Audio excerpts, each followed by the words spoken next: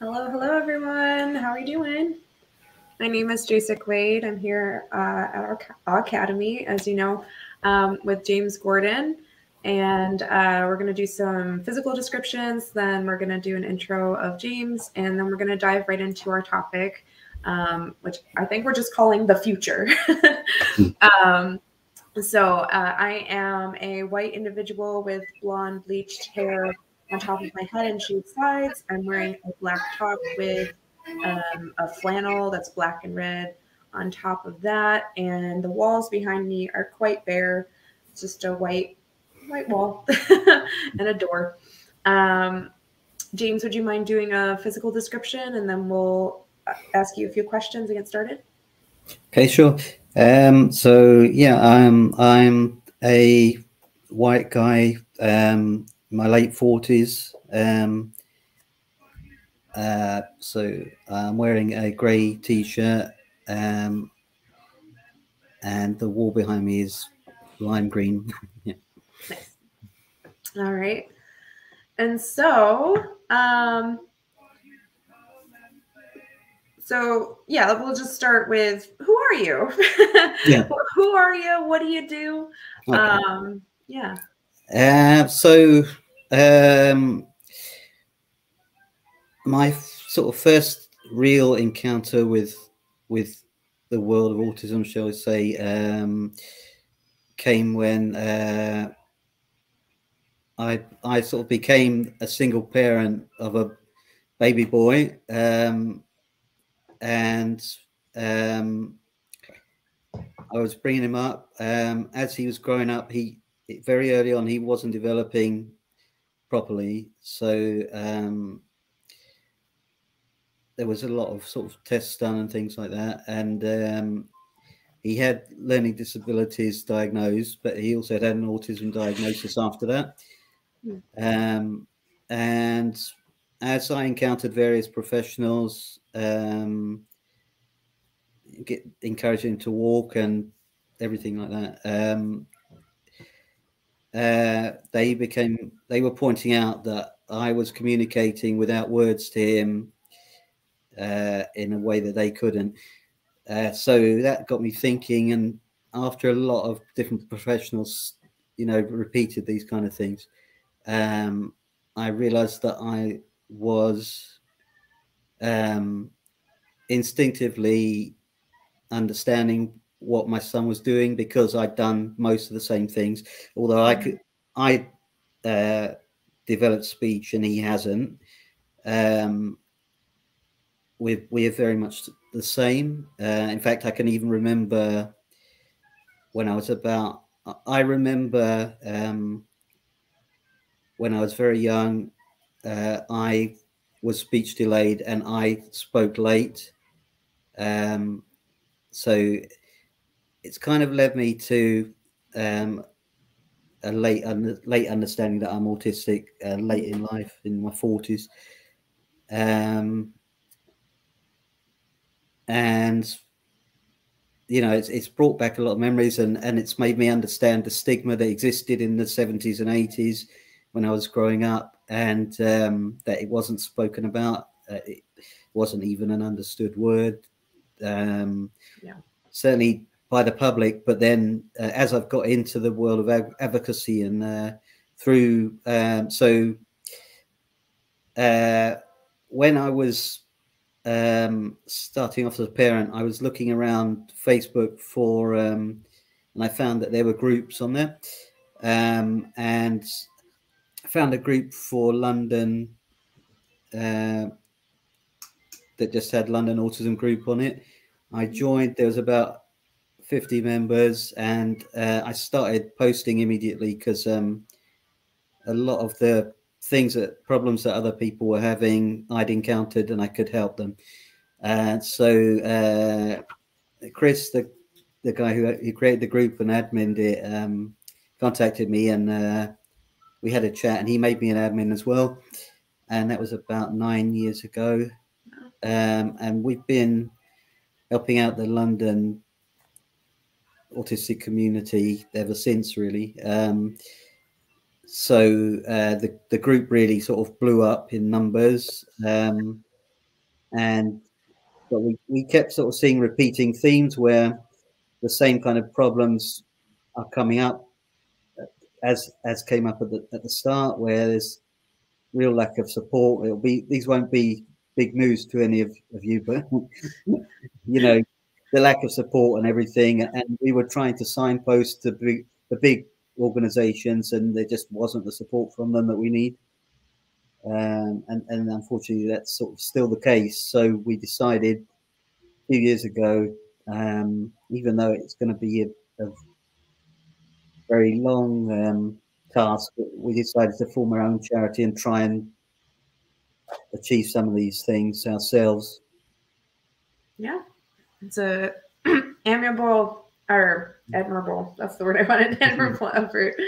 Um, before we move too far down the discussion line, um, I do want to just touch on some normal questions that we ask in the beginning of these sessions. So, um, what are your dedicated interests or specializations? Um, and well, you already actually answered the other question, which is when did you discover you were autistic? So that worked out nicely.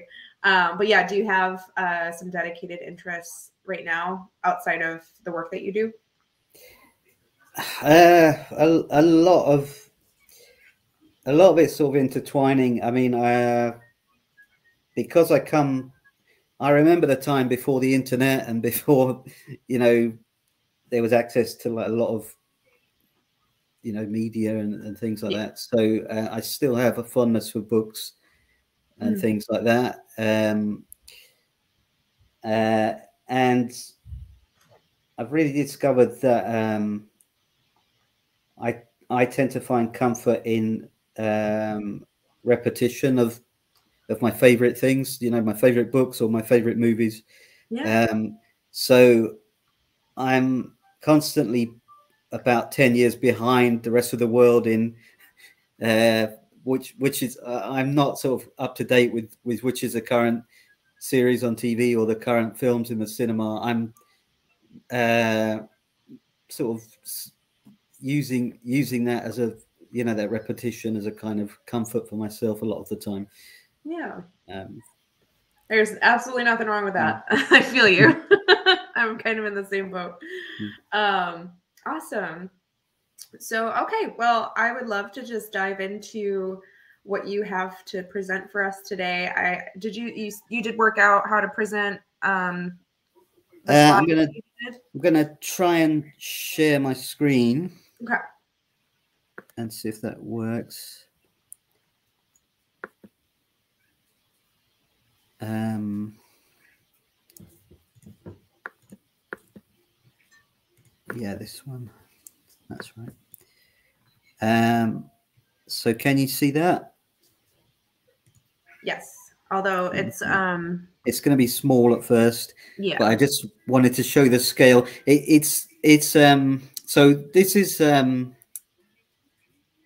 uh, by the way I, i'm only an expert by experience and uh, trial and error and this kind of thing um i'll tell you a quote um that i my first I, went back to the first message the first conversation that i had with chris um who's who's our charity lead now um and he said, uh, "Will you come and help out and add me in the Facebook group?" And I said, um, I will come along. Uh, that's fine, but just until you find somebody better.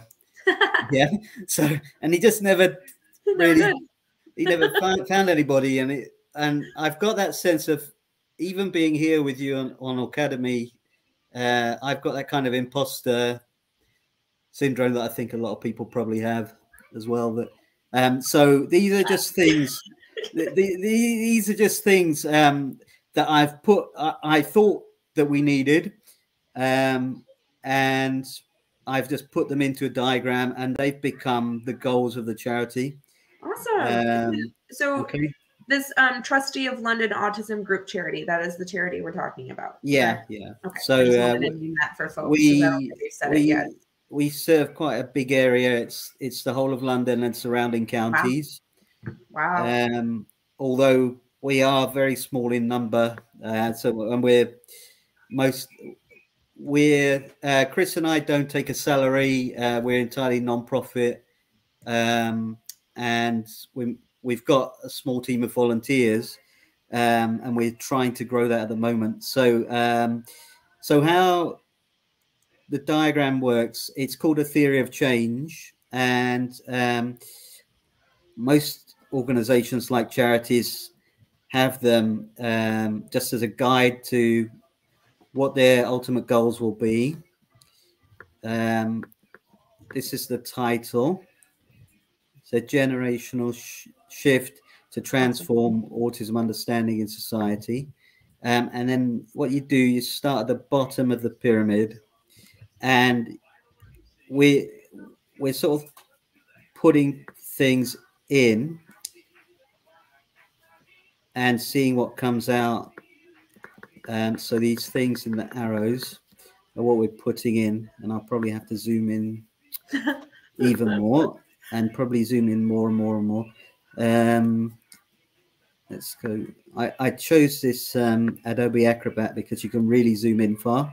Yeah. But it'll probably take a long time to load the image.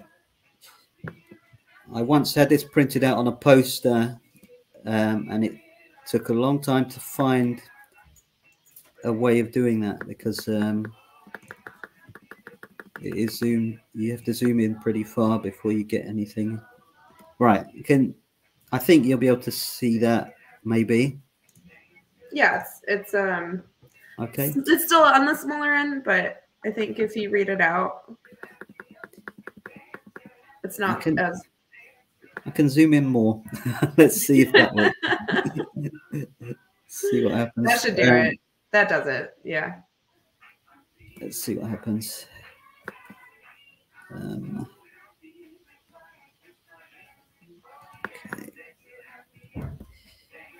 Okay, so so what we have is we're putting we're, we're sort of putting things in and and then seeing what the outcomes are each stage. Um, so we basically built we're building the charity from the ground up so it will take a long time to get to the realms of the big charities of nowadays because they've been around for over 60 years right you know so um uh so um one thing that struck us straight away was uh that we need um intensive autism training that's autistic led um, to transform the public services. Um, so um, wherever you are, if you know, if if you're in a hospital, if you're in a GP surgery, um, if you're in schools, if you're out and about and and you have come in contact with the police, um, if you're applying for a job, if you're going to apply for benefits, or uh, also we want to train the media because I think um, a lot of their handling of autism leaves a lot to be desired. Right.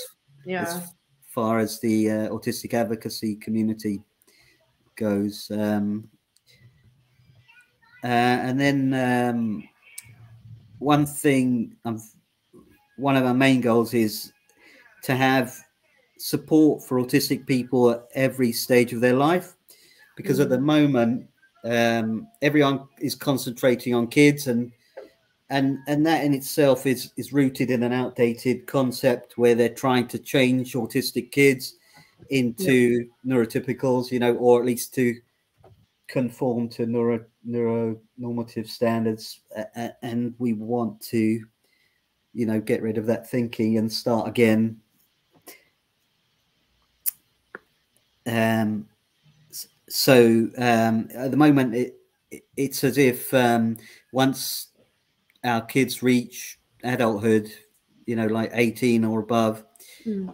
the support just drops away completely as, as, our kids get older, and we and the parents are just left to, to fend for themselves. There's absolutely no support for older um, autistic people, mm. and you know. It, people wonder why the life expectancy is much lower than um, neurotypical people. But you know, when you combine all these things, you know, the lack of support and the the extra stress on autistic people put on them by society and the lack of support, you know, it's no wonder um, that that people have much more, many more problems, you know, especially with mental health. Um,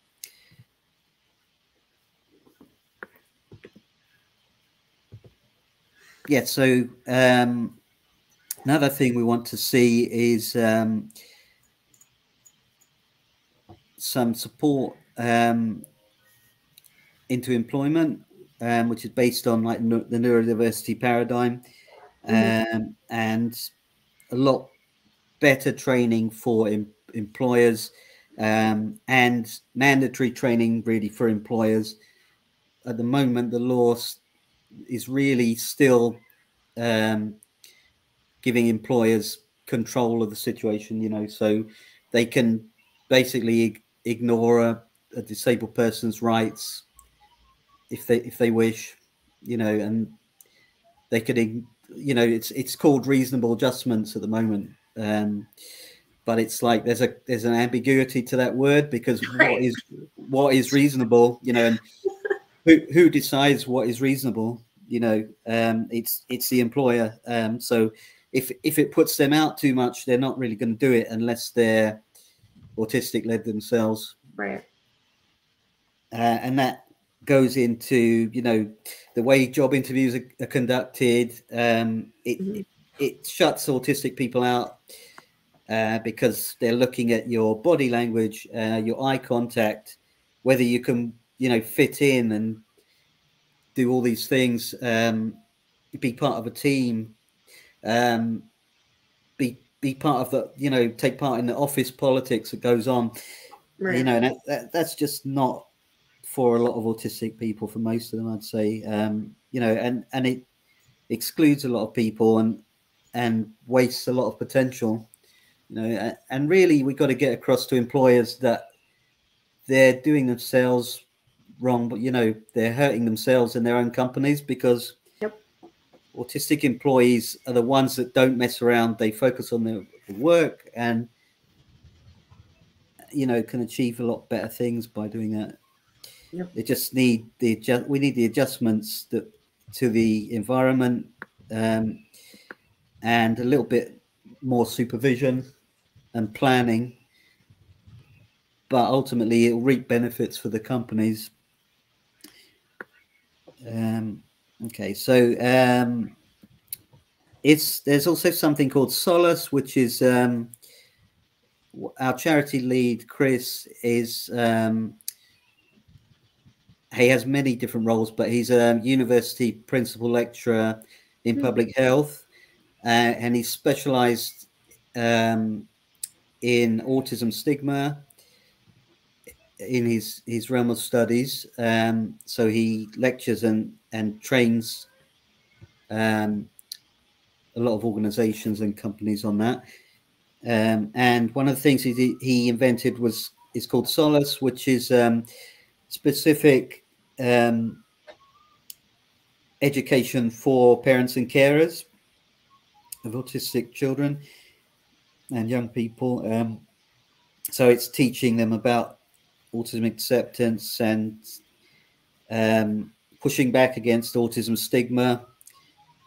And really, it, it, it's it's rooted in the the charities paradigm, which is the social model of disability rather than the medical model. Right.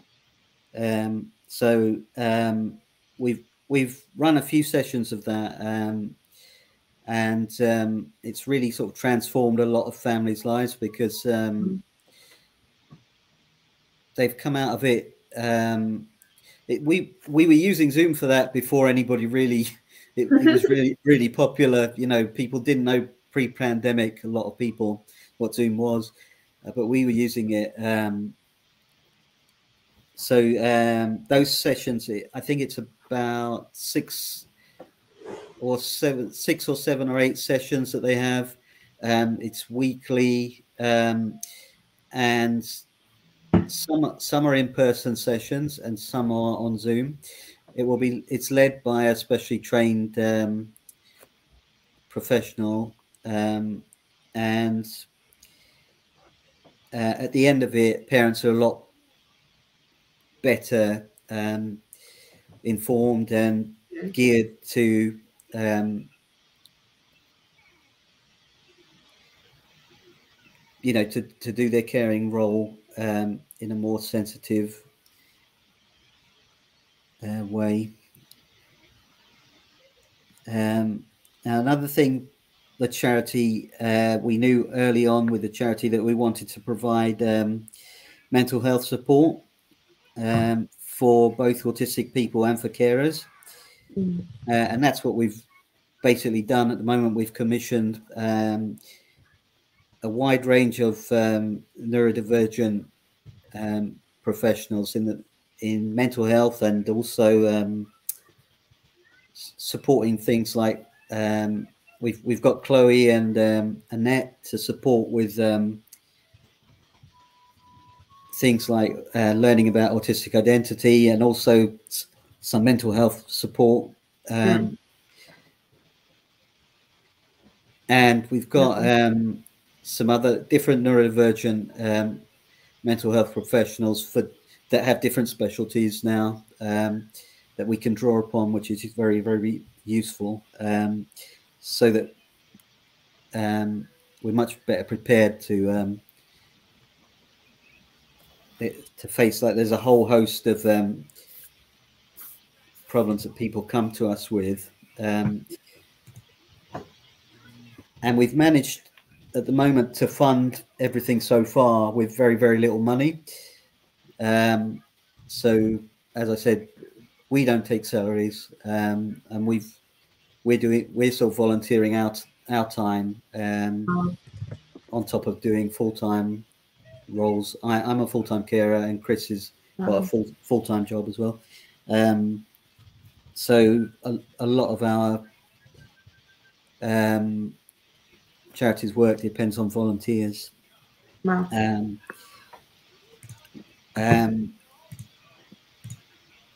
then, uh, so looking at the diagram again, um, we want there to be changes in the law to protect autistic human rights. Um, so important. yeah. Um, I mean, we we've seen a lot of uh, big campaigns, you know, the last few years. I'm um, thinking of Osime Brown, you know, um, where um, the government was trying to deport him, and he he would have had no support and not been able to um, care for himself, and and a lot of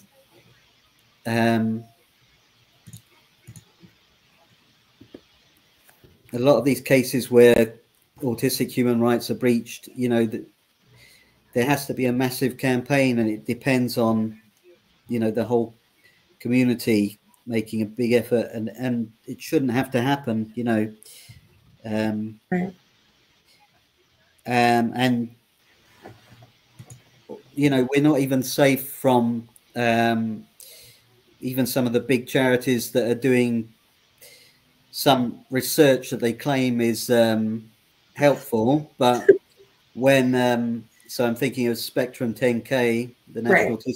National Autistic Society, when they claimed they were doing helpful research, and then um, a lot of autistic academics were looking at their ethics around their research, and they very quickly saw that there were massive flaws in it.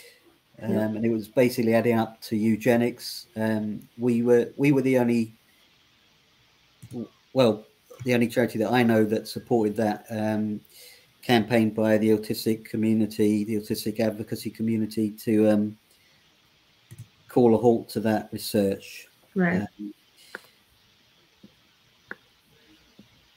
um but we we again owe a, a, massive debt to the autistic advocates and activists that do this campaigning, and they they shouldn't have to be doing this. You know, it's ridiculous. Yeah. Um, so what we need is is the powers that be to listen Yeah, Uh, and that's another area we want the charity to be involved with. Um, uh, and then a final point that I thought of was um, to have an intensive education program from a very young age. Um,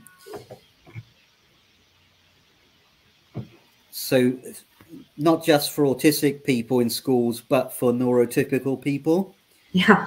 Uh, because they, you know, they go through life very, very sheltered, um, not knowing anything about autism until it affects their lives, which is not Right. how it should be. Right. They think they think that awareness is enough, you know, just to be aware that it exists, which is not enough. No, that's you know. never enough. Yeah, Can I actually ask you a question about that? Um, yeah, yeah. You, sure. you know how in most grade schools um, there's quote unquote special education, and then there's you know the regular class, right?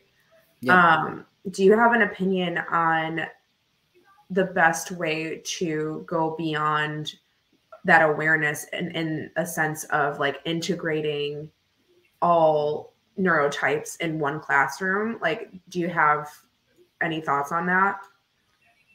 Well, the, what the key I think to education is, uh, it, it's you know it's it's not rocket science. I think it's investment of, of funds, you know, and in the right kinds of things that the autistic led community, you know, we we would look at it and say, what do we need to create a classroom like that or a school like that?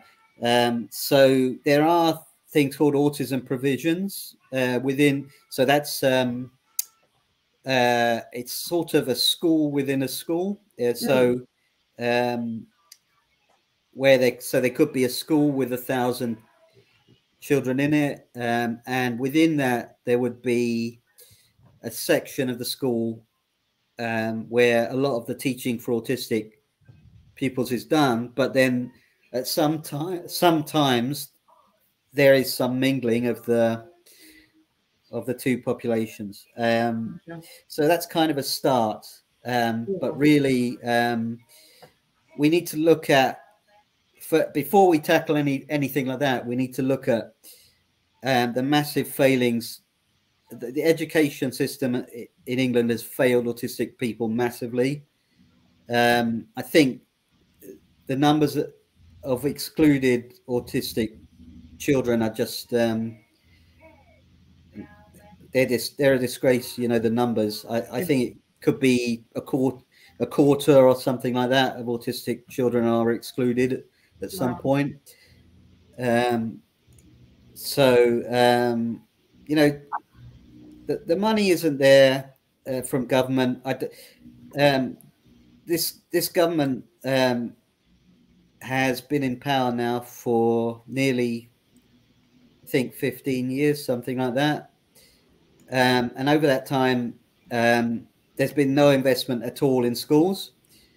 Um, there's just been sort of treading water. And even um, six months into the, when they first got in, uh, the last um, government, the previous government, bef- before they'd got in, had enacted, um, I think it was 20 billion pounds of investment in education. Um, so this government uh, went to the High Court and tried to stop that from happening.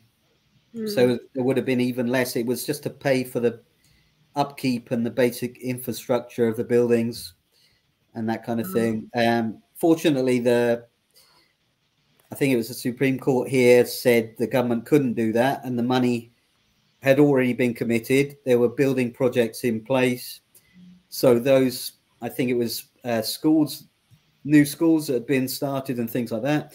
All those projects had to go through, but since then there's been no spending on education. Um, So it's basically been just kept going on a shoestring. Um, even in, I've seen it in my son's school. Um, he's in um,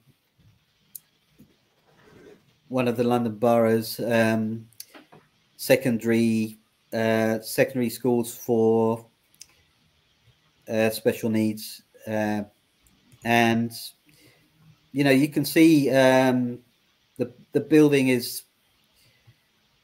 could could do with a you know a lick of paint and everything else, and um, you know the the resources they they would really love new resources. You know, like he goes and does music therapy and uh, some of the instruments are taped together. You know, with you know with gaffer tape or something. You know, uh, it's really sad. You know, and I've heard of a lot worse um, situations. You know. Wow. Um,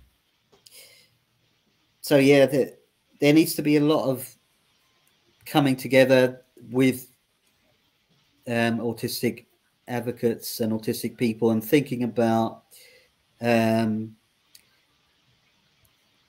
what has gone wrong because um, you know there there are ed- education health and care plans the EHCPs that um, are supposed to be you know the, the right of every autistic child. Mm. um, a lot of the times um, parents and families are having to really fight and go to court over those you know about what is in the provision. Is it just tokenism? Is it just ticking boxes and not really the help that their children need? Um, a lot of the times um, schools are just not trained and they're not understanding what a lot of the complex issues are. Um, I had a family that I was helping out um, recently, and the mum was telling me um, she's got several children, and um, so she the the older child presented in a certain way with ADHD and hyperlexia, um, and a younger child is also presenting in that way. Mm. But the school doesn't, they've got a SENCO, you know, who's supposed to know all these things and organize the help. But the SENCO didn't know what hyperlexia was. So she said, oh, I'll go away and Google it, you know. Um, so really, that there's, you know, it's, it's the same story as, as all the other public services that there needs to be a lot more investment. Um, and then once the money is there and, and if there's a willingness to um, engage with the autistic community about what changes need to be done and what training needs to be done, and if there's au- autistic input into that training, Mhm. then then we can talk about what kind of classroom would look like. You know what what it would look like. Um, I presume I'm thinking, you know, just off the top of my head, it it would be a combination of of having, um, you know, an autism provision where some of the teaching could be done separately uh, because of it is a separate environment and you know a sensory environment. Um, so I think that should should be, you know, learning should be accessible to the autistic community, and if it means um, having separate studies for part of the time, then so be it. Um, but there should also be um, uh, going back to what I was talking about um, the kind of um, education from a young age of neurotypical people. So there should be opportunities for you know social engagement. Um, you know, be, between everybody. Um, and I think um, things like um, Damian Milton's double empathy problem should be, you know, taught to teachers because they're not aware. They're not aware of it. Um, you know, um, simply put, um,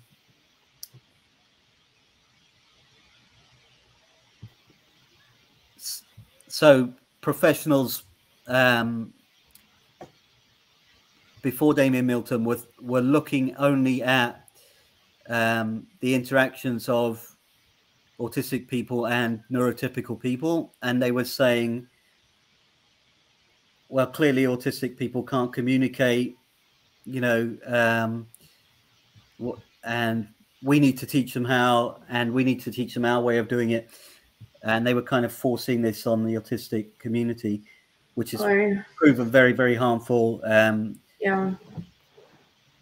Very harmful. so, so you know, but but Damian Milton said when when you look at um, the way two autistic people communicate, there's a lot less problems between it. Um, we understand we all have a similar way of communicating where um,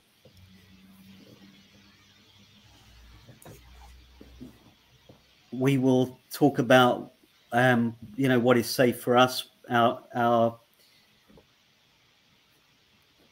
interests and that kind of thing um, we will sort of give each other a lot more respect yeah. um, in the way we communicate. Um, we won't use things that are not meaningful, like small talk, and we won't insist on, um, you know, the the physical side of things, which is you know the eye contact and that kind of thing. Um, and and that needs to be taught.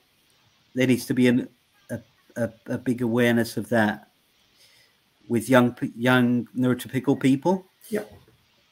so that um and, and then i think a lot of the problems in schools will start to improve like bullying you know and this Yeah. kind of thing Oh yeah. Definitely. All right. um so um so with those things uh this diagram is like we are putting those things in in injecting them into society and then seeing what happens Mhm. So, um, but in order to do that, we needed to build a charity from the ground up. So, um, this is basically how to do that. How, how we've gone about doing that. Um, so it's basically um, things like advertising, getting the word out. How how are we going to do that? So we're going to do public speaking and campaigning, um, advertising on social media, uh, marketing and branding, um, maybe reaching out to social media influencers and things like that. Um, another key thing is to team up with other autistic led um, organizations, which we are doing. Um, and I think that's going to be a key factor going forward. Um, there's a lot of um, small autistic led um, community interest companies that are forming, uh, which, you know, we've come along at the same time and sort of independent from each other. But when you look at our goals, they're surprisingly and shockingly similar. Um, you know, um, I was looking at one in uh, the Manchester area yesterday online, and I sort of said, "Well, we have to have a Zoom with them um, because it's almost identical to the one the stuff that we've written. You know, is on is on the website, uh, which is which is great to see. Um, we also spoke with um, uh, a lady, uh, Brid- Bridget McGrath from um, the Midlands, who's started a CIC um, called Bright Fire.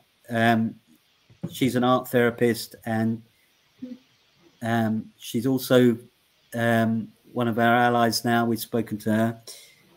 So we want to encourage, you know, these small organizations all over the country that's starting up. Um, and I, th- I think one of the things we've learned is that the, it's very much going to be a grassroots Mm. effort by the whole autistic community. Yep. Um,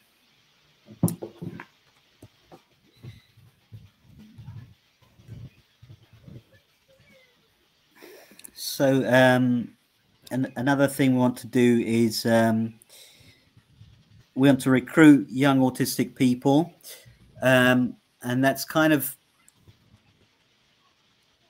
um, factored into our plans where we plan to approach job centers and to um, get some young autistic people to volunteer for us. And in return, um, they'll get work experience and they'll get um, access to um, a lot of the adjustments that they need. Mm. Um, and, and, hopefully, um, we're hoping to be able to um, signpost them wherever possible to, you know, to employment opportunities where we can.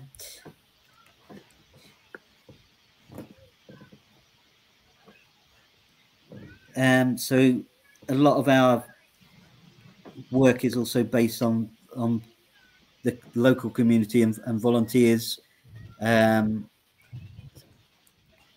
so um, one of the other things we do is we have monthly uh, drop-in sessions at mm. four sites around London. It will soon become more than more than that, um, where um, it's only two-hour monthly sessions um, where we hire somewhere like a church hall or a community centre, um, and we just invite everybody in from the autistic community that wants to come. Mm. Uh, and because what we had seen before was um, other charities and organisations that did did this had had any kind of social group or support group um, had all these kind of barriers to access where you know they require an autism diagnosis or they require you to be from a certain age group. Um, and we've just got rid of all of that. Um, and we thought there was some reason for this like maybe health and safety with adults and children mixing together but we've just found that not to be the case and it's been um, fantastic. You That's know the, the, response um, yeah. and, and, the kind of results that we've got um, so um, there's been a real uptake, and we um, very very quickly we've only we've only been doing them for a year, um, wow. so really only only 12 sessions um, from the first one, and we've had a you know a, a real um, rush of people, um, and certainly I, I think since lockdown there's been a real drop in in the number of um, in-person meetings uh, be, simply because I think the big charities are trying to save money sure. on these, you know, um, and and we do have to rent the sites, but we've found ways to do that. Um, so again, sort of we're we're funding things, and and the big and we haven't got money, but the big charities have got hundreds of millions. And they're not, so doesn't make sense. But there we are. Um, yeah, so um, then some other things we want to do is to train the media so that the way they they report about autism is completely different. They, you know, yeah, it's it's just um, not at all help helpful to uh, do what they're doing. No. Uh, I. I just read on um, I forget what it's called something like diversity directory or something along those lines, and you know I had all these uh, conditions listed, you know, and how to as a journalist talk about these things and I had to stop myself from reading half of the definition for autism, ADHD. Like I couldn't my my my system activated. yeah, like this yeah. is not this is not how we do it. Please yep. stop. Please stop. Um, so I I'm really grateful that this is a part of your plan because it's not just you know the people in schools and doctors and things like the media actually has a really large role in how we perceive autistics. And um, especially when you know when we have those tragic cases reported of police getting involved um, like we, we need to stop stigmatizing and pathologizing and actually see autistic humans for what we are autistic humans. You know like we, we don't need to separate out the autism we don't need to demonize us for having quote unquote having autism like can we just yeah. uh, anyway so this this really I'm I'm excited. This is awesome so far. Thank you for Um, presenting. okay. this. Um, so one of the things um, that uh, Chris, our charity leader's done, um, he his cultural background is uh, Greek Cypriot, and his um, area of London, Southgate, has a large um, Greek Cypriot community there. Um, so um, his um, a lot of his sort of area of expertise is around autism stigma and Mm. what so what the charity wants to do um, because of that is to push back against stigma and to educate people um, and so he has had an idea to focus on minority groups that maybe um, the you know the education around autism just isn't really there at all you know Yeah. um, so it, it's sort of even a, a bit further behind the rest of, of society. Um, and uh, he um, has reached out to the Greek um, uh, ra- London radio. Hmm. And um, he's now doing um, with some of our volunteers. He does a radio show on there, um, and he's sort of gently um, edu- educating the uh, Greek Cypriot community of London. Um, they get um, quite a large listenership. I think it was between 200 and 300,000 listeners Wow. for each episode. Um, That's amazing. uh, so that's one area where we're kind of educating and, and we're, we've sort of reached out to local media um, and we have our own podcast for the charity which we've been doing since um, since we started really because that's a, a very um, low low cost thing Yeah. where we can just invest our time um, and we've been uh, trying to um, speak, speak. We've been speaking to a lot of autistic advocates and trying to, you know, spread the word and, and publicize them, Mhm. um, which is which has been good. Um,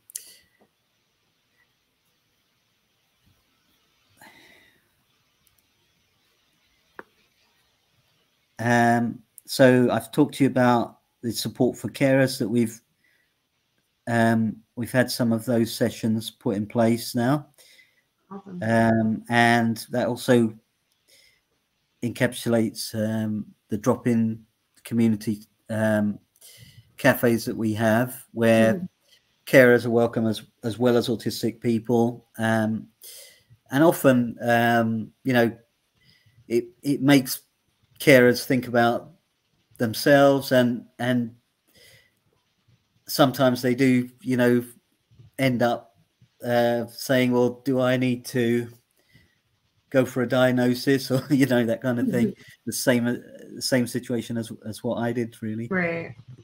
Um, but it helps um, them understand their children better and Yeah. um, how to care for them. You know.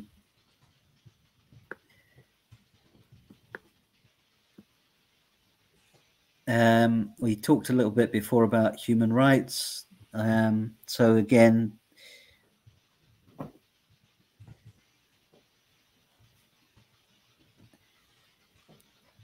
um, let's have a look. And training in public services. Um, I've talked about that. Um, Mhm. And training for companies as well. Yep. Um, and for schools and universities. I feel Um, like universities are, for some reason, might be like some of the hardest places to get people to shift. I don't know. Um, yeah, we we did have um, some discussion with a big university, um, and they were the, the person was was quite high up. They you know they were they were sort of all in, and they wanted us to train all their staff, but when it came to the funding issue, I think there was a problem, and then we didn't hear again about it. So you know, yeah. they're always welcome to come back to us. Um, the the package that we put together was was very very generous on our our side. We were we looked at the um, the other uh, training packages around, and then we we halved we halved the price. So we were doing it half price anyway. Um, right. You know, when compared to other people, and I, don't think they were autistic led. The other people, you know, no. um, that is so, that is the frustrating part, right? There are all these people out there educating on our experience who aren't actually autistic themselves and charging a lot of money to do it. Yeah, absolutely. And then the people like us who are out here trying to, you know, actually teach on our experience, like the actual autistic experience. And um it's it's it's just looked down on or they don't bite because it's the same amount of money if or less than what other people are charging. Like it doesn't it doesn't compute in my brain. I'm still trying to wrap my head around how and why that happens. I don't know. Anyway.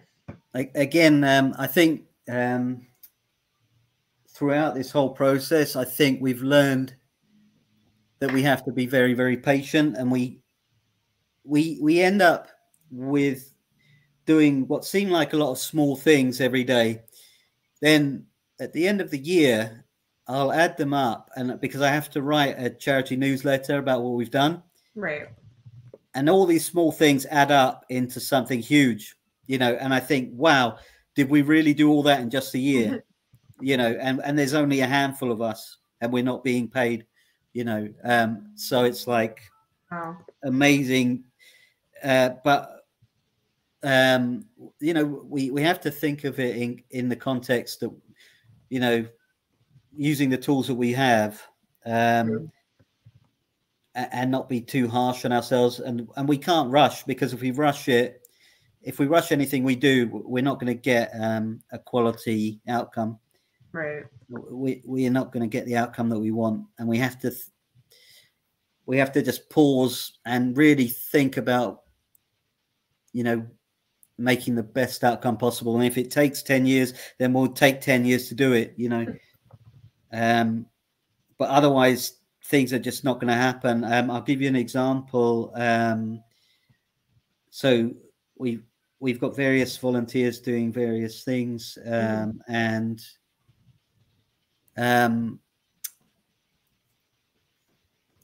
so some people have um, on our behalf tried to get various things for us, but and and and you end up speaking to you know the people in power um, in powerful positions, um, and no, it can be very frustrating, and you have to kind of bite your tongue and not not say what you're thinking to them because yep. you know it, it's just not helpful to to shout at someone or something like that you know um because you're just going to alienate them, you know. So um, we we've learned to be patient and and try and um, just bide our time and and seize the opportunities when they arise, and they they do arise, you know. But we have to be patient to try and pick and choose the opportunities that come up. Yeah. Um. Yeah. So. Um So basically, to summarize this, um, we've we're basically getting to the stage that we're kind of at now where we've put all these things into the community. We're doing some of them, not all of them.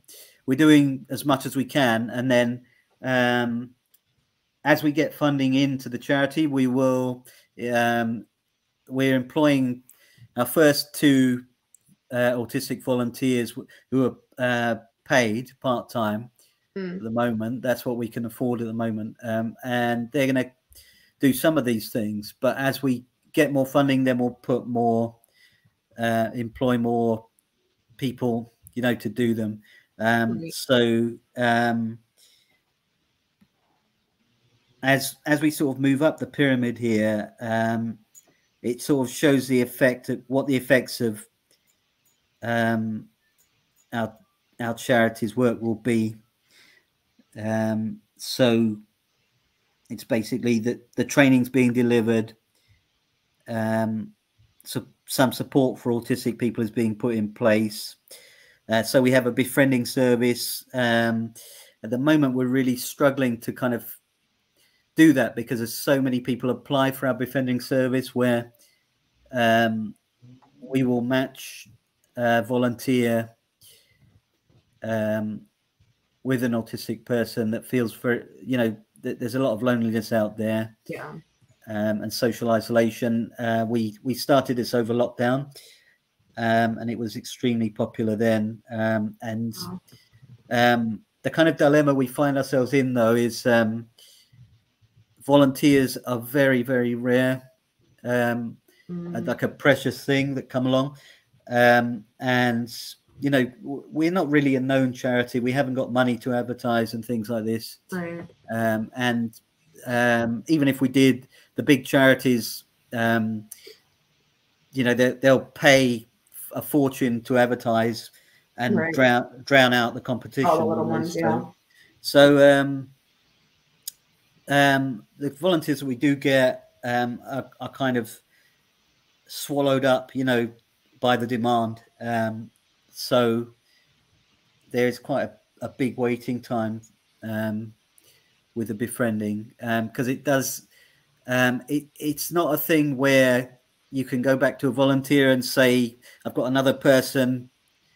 Um, do you want to help them as well?" Because it's an it's an ongoing support Right. that, that will that will go on and build into hopefully build into some kind of friendship or relationship you know where um, we've we've had some great feedback where um, people have it starts off often with text messaging um, just like you know just so that someone can feel like they're not alone they they can reach out if they like there's someone on the end of the phone or or on an email.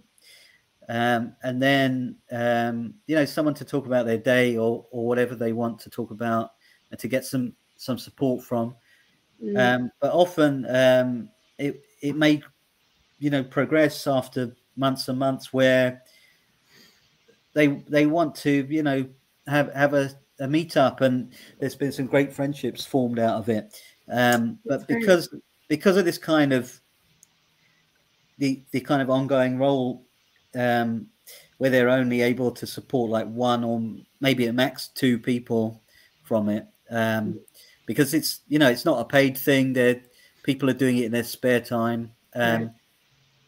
and often um, the best befrienders are autistic people themselves. Um, so um,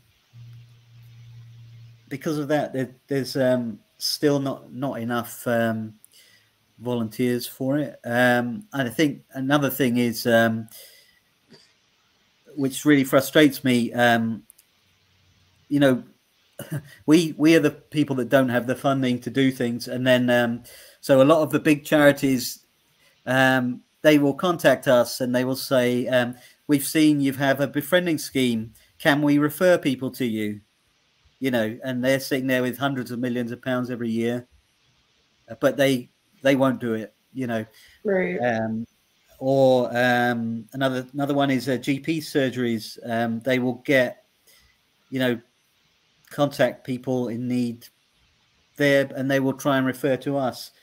Um, that's okay um, if we had the capacity to do do a lot of these things, but um, at the rate they're, you know, I don't know how many GP surgeries there are in London, but there seems to be hundreds of messages, you know, every month, Yeah. and we just can't support hundreds of people a month, you know, Right. at the moment. So um, we're having to be sort of patient and not not get frustrated with it, but Yeah. uh, we're sort of committed to making these things work, and we're trying to strategize. Maybe we're going to have um, some Zoom groups for people that are waiting and things like that, where we can uh, manage to support a lot more people quicker. You know, um, that way so that people are not left isolated. But we're having to be imaginative about how we deal with these things. Um, and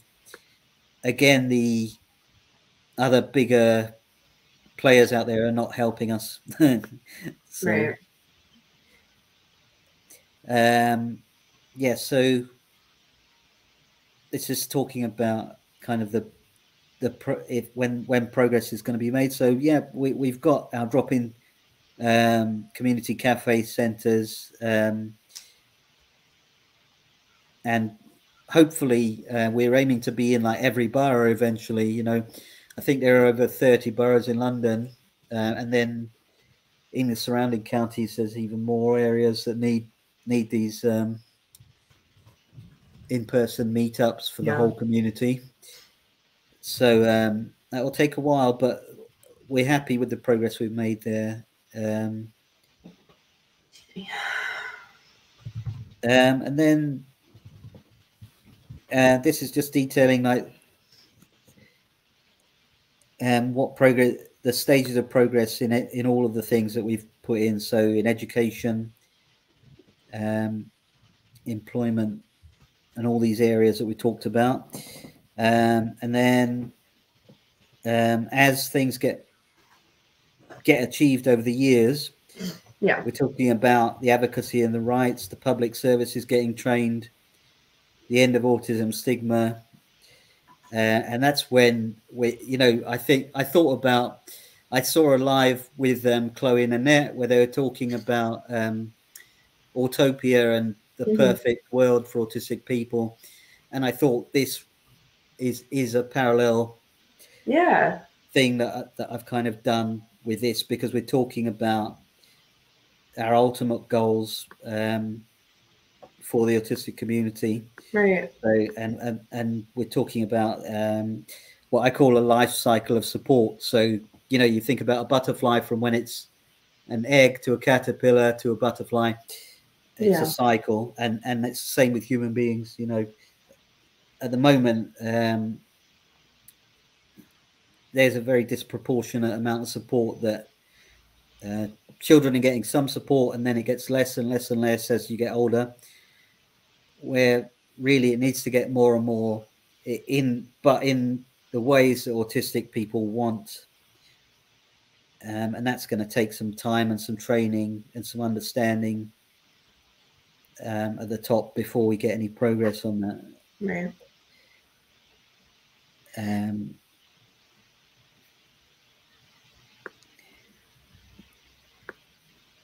I just I love how comprehensive this is. You've really uh, looked at all the all the angles, you know. well, as I as I said at the beginning, um, disclaimer: I'm not a professional. yeah, I'm only I'm only uh, autistic, you know, lived experience and all that, you know. So I, have I've seen what the kind of problems that come up in from the community yeah. um, by you know by trying to serve the community. I've dealt with all these problems first of all in the Facebook group, and then um, I deal with all the emails that come in at the moment through the charity and try to direct people to help, try to help people if we can, or right. try try and signpost people to other help. Um, I definitely don't want to discount any of that because I think that's genuinely why this is all so comprehensive. you know that expert or not, that's I don't know if that language is really needed. It's that you've done it and here it is, and that's wonderful.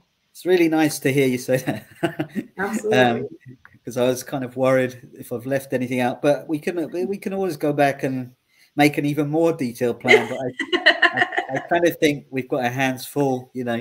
Um, I think this is a good start, to say the least. yeah, maybe in, in a hundred years we'll go back and um, when yeah. this is, is done, we'll see see what else is needed, um, and then kind of I think it boils down to these things here that um, the ultimate ultimate goals. So autistic human rights are guaranteed and protected in law, which they're not at the moment. Right. Um, the charity is implementing autistic led strategies to improve and support the lives of autistic people and carers.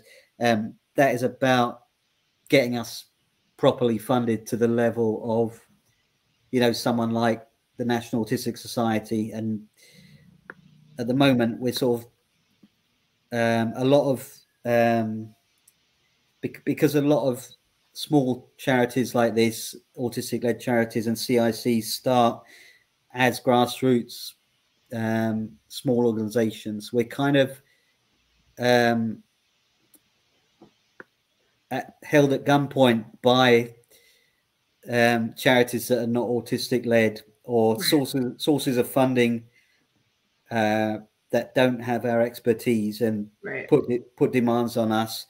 Um, and we need to be independent of that and to form our own, Absolutely. you know, fi- find our own path and and achieve these things on our own. Yeah. Um, so um, another of, of the final outcomes will be, um, yeah, the charities activities are funded by business, grants, and the public. Uh, and the kind of utopia conclusion is um, sustainable measures are in place to meet the needs mm. of the autistic community. Autistic people live longer, happier, and healthier lives. Yes. um,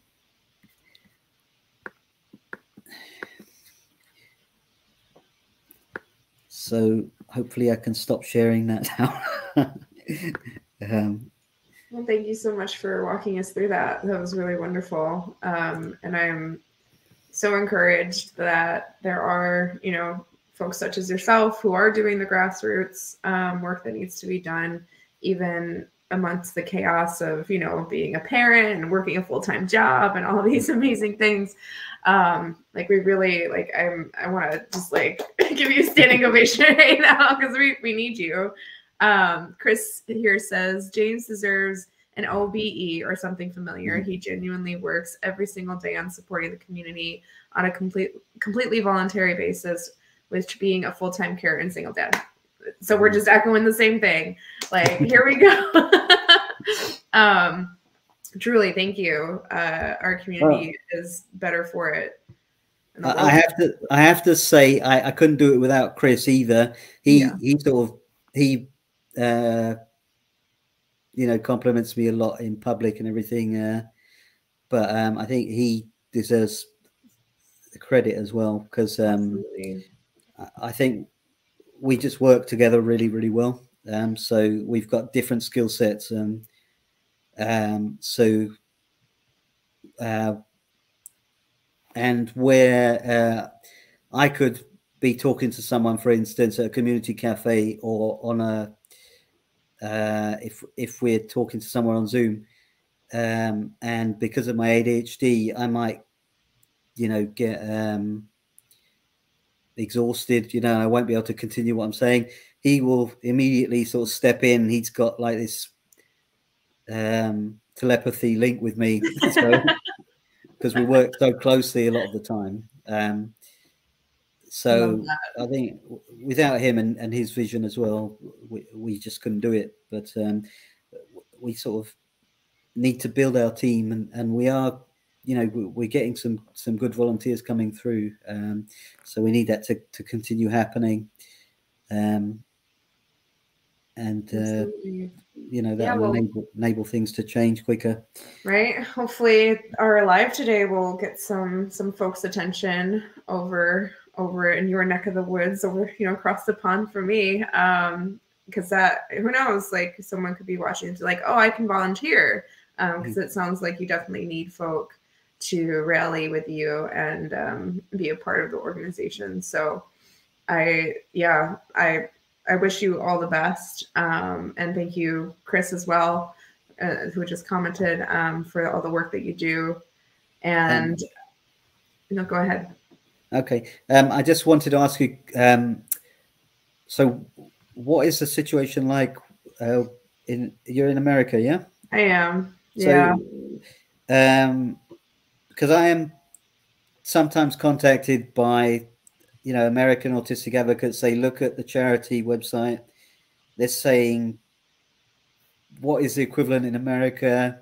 Ah. Um, so you know it, so say um, I don't know if we if we if we got funding here, um, and and say in X number of years we covered the whole of London, then we would be ex- wanting to expand right. the mod the model and say to other cities in the UK, why don't you, you know, partner with us and come, you know, we can do the same thing in your city, and then we could cover more areas like that. So, are there autistic advocates in America that are planning to do the same thing? So, from what I've seen recently, um, we have too many organizations um, that are like Autism Speaks. Um, yeah. We have too many that are, you know, ABA forward and wanting to change autistic children. We definitely do not have the adult support either. You know, you know what you were listing for like the full cycle of life. We need it here too. Um, there's very few organizations that provide for all ages and very few even more so that are centered on the autistic lived experience and actually um, embrace and celebrate and value who we are just as we are um, so we definitely need big players to shift things and and change that i um, you see my queer culture coaching i am working on my own advocacy um, programs kind of like what you listed um, in the sense of educating professionals. So I want to go into um, medical spaces. I want to go into uh, education spaces.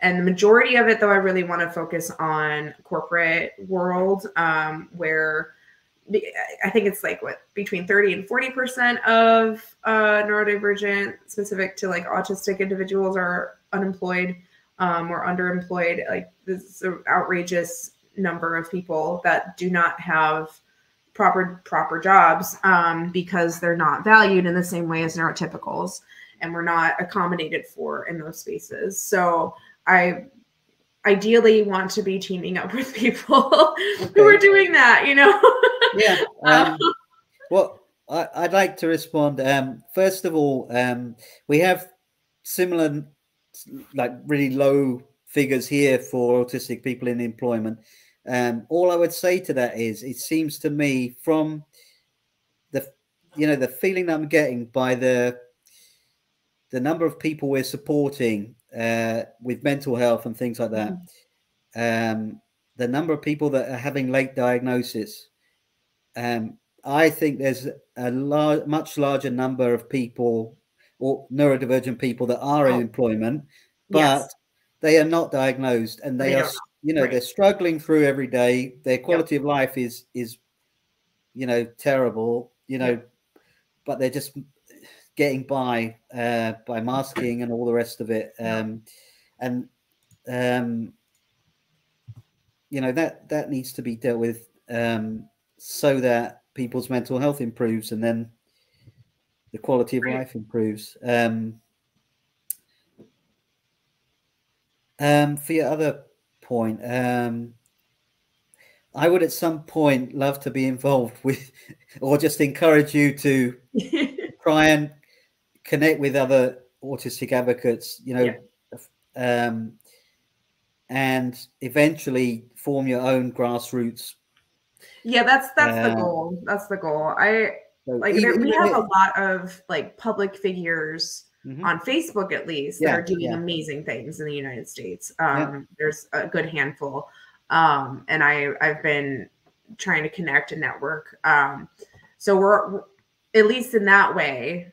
There are people that are doing amazing things and speaking to thousands of people at a time online, which is, you know, one of the big steps that we need to take. Um, so I, I won't erase that, but I will say, as far as like brick and mortar, like physical businesses and people, like organizations, charities, services. Um, well, I think what we've proved is that we don't. You don't really need a lot of money, or right, or um, or it to be this massive. Um, you know, our community cafe events. They're only uh, two hour sessions every month. You know, it's not a it's not a big deal. It shouldn't yeah. be a big deal. You know, yeah. but but people treat it as if it's gold, and right. you know um, we don't even advertise. Uh, we just put it on our charity Facebook page. Wow. Um, you know, we we can't really afford to advertise, so we're only just getting around to. Um,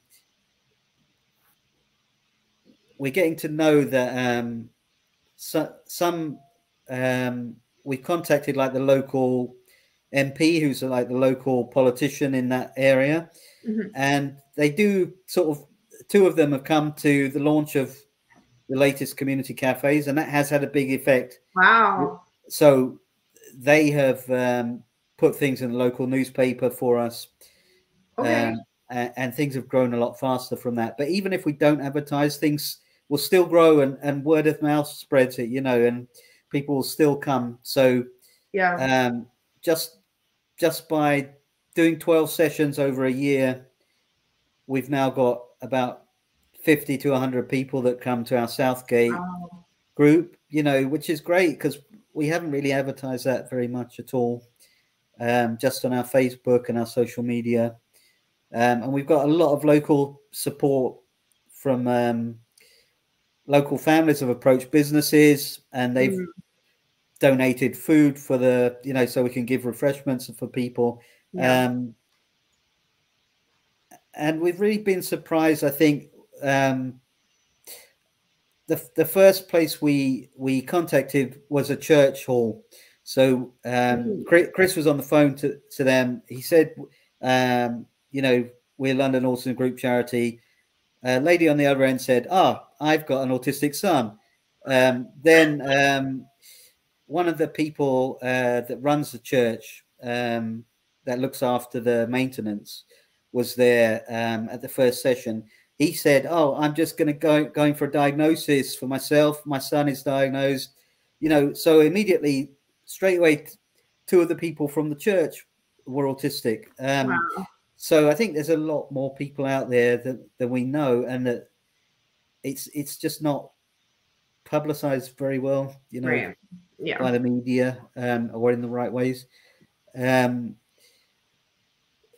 even if it was some kind of small event, I think you have to start somewhere, and then you'll Right. be. Su- I think you'll be surprised at the response you get, and I think um,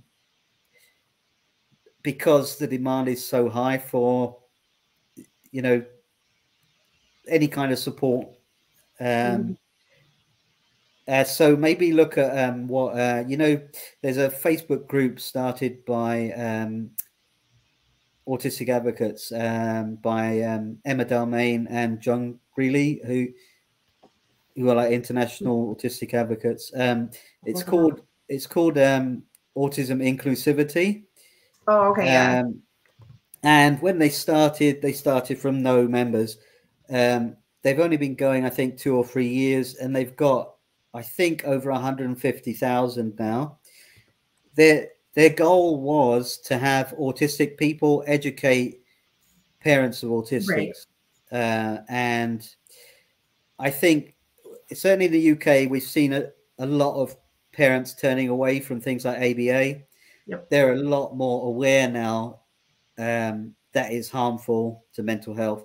And I think we can credit that Facebook group for a lot of that awareness. Um, believe it? that that sort of started getting the message out, and now it's sort of spreading around by word of mouth. Um, but um, something like that, if you look at their goals and then maybe replicating that, Yeah. um, Something like just that. just maybe start some events. It doesn't have to be. They can get more and more regular as you figure out where the communities are. That you'll Yeah. get, you know, people coming. Um, you know, may, maybe do some speaking events with other advocates and see how that goes, and then maybe you can build up something from there. Um, but I, but I'd, I'd love to kind of hear back from you. And, Yeah. uh, maybe con- connect from now now and then and, and see how it's going because um, I do get these um, they're sort of young autistic people that say, "Oh, where can I become part of the advocacy movement?" And I'm sort of have to say, "Well, it's not there yet, unfortunately. you know, because we're very small over here. It, it's hard for us to visualize how big one state in America is compared. You know, you could fit the whole country here a hundred times into one of your states easily. Yeah. Um, but um, the people must be out there. You, you've just got to connect to them. oh, know? definitely. Yeah. No, I, I, yeah, I have a lot of spinning plates, so I'm trying to figure out, you know, yeah, I know, I know where to know. direct. That's, kind of describes my life. Yeah. but no, thank you. Um, thank you so much for sharing your insight. Yes, and uh, I would love to stay connected as well. Um, moving forward. So definitely we'll be reaching out. But um, I just want to thank you for your time today and uh, thank you for walking us through that amazing blueprint of a plan. Um, what do you call it? The the trans. Hang on, I have it. The theory of change. Theory of change. Yeah. Um, absolutely brilliant and uh, really appreciate your organization. This is the trustee of London Autism Group Charity. Just to name that again for everyone who's watching. Um, I, you know, visit their website, see how you can support, or if you need support, I, you know, there's, I'm sure, plenty of. You just saw all the things that they're doing, so um, inquire there. We're starting um, them. We're starting to do it. Um, starting to do, yeah. uh, I just like to say, um, it's an honor being on here.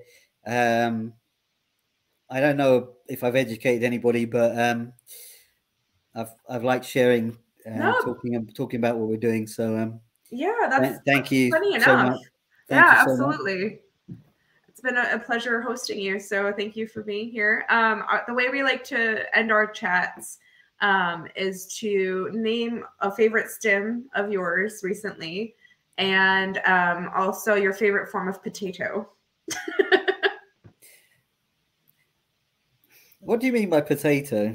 Like any any kind of potato that you like to eat, or you know, befriend if you're talking about Ben here because he likes to eat potato. oh, I see. Okay, okay. uh, oh, I don't know the name of it. Uh, uh, I think it's called Bartlett something. If, if you Bartlett, so there's some kind of it's it's like um a sort of organic upmarket type of potato. Huh. That's around not, here. And it's sort of Oh, you mean like the actual kind of potato. So not like the yeah. form that you eat it in, like mashed potatoes, French oh, fries. okay. No, no, I'm thinking about uh, sorry, I'm I'm very literal thinking, so I'm no, thinking that's great. Uh, that was the, a great answer. kind of company, yeah, company name, uh, branding, you know. Uh, yeah my literal brain again. Um, so good. Um, so somebody today actually was talking to me about um, they were having a complicated journey. They come came down to the city and they're from the countryside. They talk about they were talking about um, you know um, the underground train system. We call it the tube mm-hmm. system. We so they were talking about uh, knitting the tube knitting the tube system or knit, knitting the railways and i was thinking what are they talking about they they into wool and knitting and what and then they're saying no it's because they're so complicated the uh the railways that they have to knit their way through it oh you know? so my see, I, brain I, my I was, brain went to the yeah, the knitting like i was thinking craft. about yeah Absolutely. i was thinking about craft as well so i, I sent them a picture of a knitted train someone had done online on Google Images, and they were saying no, you know, so that kind of thing. Uh, so, uh, type of potato, okay, uh, roast potato for me and mashed potato for my son. Hey, very good. Who's who's actually asleep now, which is very nice. so I should come on here every night, and he'll get him to sleep. he just probably likes my voice talking. Oh, that's so sweet. Yeah. Happy to help. All right. Well, oh, and did you uh do you have a favorite stim lately that you like to do? Uh the repetition thing that I was repetition, talking yeah. about, I think that kind of counts. Um so uh, yeah, I think I do that with a lot of different things. Sure. Um uh with music, with all kinds of things. Um and I think looking back now, I've I've done it for so many years. I think it saved my life, you know, a lot of times when I was younger, and I, I didn't even know didn't know what I was doing. But but we just do what, what we feel is natural, don't we? Mm-hmm. So, That's all we need. Absolutely. All right, James. Well, uh, thank you again. And thank you, everyone who's tuned in or who's going to tune in later after we're done. So, pleasure to have you all. And uh, we'll see you next time here on Aucademy. Thank you so much. Thank, thank you. you. Bye. Bye.